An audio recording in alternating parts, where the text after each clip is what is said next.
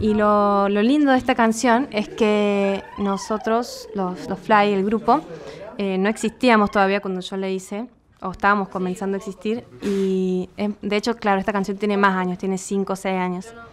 Eh, fue una de las canciones que hizo que nuestra banda existiera. Entonces, bueno, le pusimos el nombre juntos ahí, Las Ruinas.